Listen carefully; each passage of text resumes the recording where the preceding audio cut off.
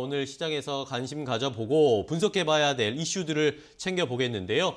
자, 오늘은 유안타증권의 김덕호 FA와 함께하도록 하겠습니다. 전문가님 안녕하세요. 네, 안녕하세요. 반갑습니다. 자, 오늘 일단은 살펴봐야 될 이슈가 여러 가지가 있었지만 새벽에 또 미국 시장에서 여러 가지 이야기들이 들려왔습니다. 미국의 earning season이 이제 본격적으로 개막이 됐는데 뭐 미국에서 earning season이 시작하면 뭐 금융주들이 일단 포문을 열고 시작을 하잖아요. 오늘 새벽에 뭐 골드만삭스, JP 모건, 뭐 웰스파고 이런 회사들이 실적을 공개를 했습니다. 어떻게 나오는지 좀 체크를 해 주실까요? 네, 우선 이제 앞서서 말씀해 주셨던 것처럼 이제 기업들이 이제 실적을 공개를 하기 시작했는데요. 이제 네. 대형 금융사들 이제 우리가 잘 알고 있는 뭐 골드만삭스라든가 JP 모건과 같은 아니면 또 웰스파고 체이스 같은 이런 업체들이 먼저 이제 기업을 발표를 했습니다. 네. 어, 내일도 마찬 가지로 이제 뱅크 오브 아메리카를 비롯해서 이제 많은 기업들이 좀 실적 발표를 지금 기다리고 있는 상황인데요.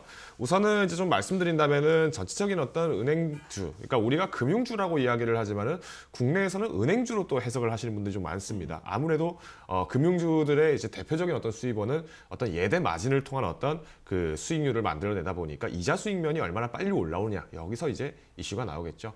자 그런데 이제 재밌는 사실은 이번에 경기 회복세가 굉장히 가파르게 부각이 되면서 여기에 따라서 은행 주들의 그 순이익들이 굉장히 빠르게 회복이 됐다라는 보도가 나왔습니다. 네. 뭐 골드만삭스나 아니면은 뭐 JP모건 같은 경우에도 작년 1분기 때를 비교를 해보면은 전년 대비해서 약 다섯 배 정도의 그 순이익이 회복이 된 셈이다라고 이렇게 언급이 되고 있는데요. 그 원인 중 한 가지가 사실은 앞서서 말씀드렸던 그 경기 회복에 있습니다. 자, 지금 한국은행에서도 마찬가지로 기준금리를 동결했고, 어, 제롬 파월 의장도 마찬가지로 올해에서는 금리 인상에 대해서는 아직까지 논의하기 어렵다. 오히려 좀 더 지켜봐야 된다라고 얘기를 한 바가 있죠. 즉, 금리가 동결되어 있는 저금리 상태, 제로금리 상태에서 은행들이 마진이 올라갔다라고 보시는 것은 어떤 부분을 보셔야 되냐? 바로 어, 대, 그러니까 네. 대, 어, 대출을 해주고 나서 그 돈을 받을 수 있는 그 충당금이 음. 대손 충당금이 얼마나 빨리 회복되느냐가 중요합니다. 그래서 네네. 이번에 이제 경기 지표들이 굉장히 어, 긍정적으로 나왔지 않습니까? 뭐 수- 수입 물가라든가 아니면 생산자 물가 지수 이런 부분들이 굉장히 회복을 빠르게 하고 있다는 것은 그만큼 지금 미국에서는 백신 접종 이후에 경기 회복을 위한 노력이 굉장히 가파르게 진행되고 있다고 보시면 되고요. 네. 이것이 곧 시장의 정상화로 이제 이어진다는 부분을 좀 살펴서 말씀드린다면은 금융주들의 입장에서는 당연히 그 기업들이 되살아나고 있다고 보시면 됩니다. 자 그러면 어, 시청자분들께서 이런 경험 있을 겁니다. 뭐 친한 친구나 지인들이 나 돈 좀 빌려줘 해서 돈을 빌려줬는데 갚지 않고 돈을 떼었다 하면은 굉장히 기분이 나쁘시죠. 짜증이 나죠. 자, 그래서 은행에서도 마찬가지로 가장 걱정이 되는 부분은 뭐냐면 돈을 빌려주고 나서 그 부채를 상환하지 못했을 때, 그리고 회수가 불가능한 자산이 됐을 때를 대비해서 항상 대손 충당금을 놓게 되는데 지금 대손 충당금의 비율이 굉장히 빠르게 회복을 하다 보니까 이 부분들이 이제 순이익면으로 전환을 하게 된 겁니다.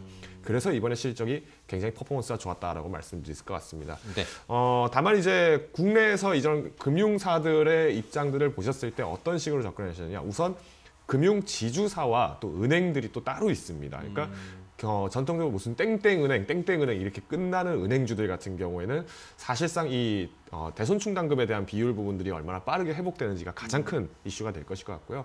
어, 여기 이제 지주사들 같은 경우에 조금 성향이 더 한 가지가 추가가 됩니다. 바로 이제 투자 부분에서의 그 수익률이 얼마나 빠르게 또 올라왔느냐 이 부분들을 좀 살펴보시면 좋을 것 같습니다. 그래서 최근에 이제 증권주들이 또 다시 한번 반짝 상승을 하는 계기가 결국은 이런 거래가 양이 점점 많아지다 보니까 여기에 대한 어, 이익면들이 굉장히 회복될 것이다라는 그 기대감이 있지만은 네. 어, 우선 은행주들 같은 경우에 전년 대비 에 어, 실적들을 좀 보시면 좋을 것 같고요. 오히려 증권주나 지주사 같은 경우에는 분기별 실적을 조금 참조하시면서 투자에 참, 어, 참고하시면 좋을 것 같습니다. 네. 자, 이렇게 미국의 실적 발표, 금융주들의 실적 발표가 나왔다는 거 체크를 해보시면서 뭐 이제 내일이죠. 우리 시간으로 내일 아침에 또 다른 투자은행들, 뱅크 오브 아메리카나 이런 시티그룹 같은 종목들의 실적이 아마 발표가 될 겁니다. 그런 것들도 체크를 해보시면서 투자 포인트를 얻어보시기 바랍니다.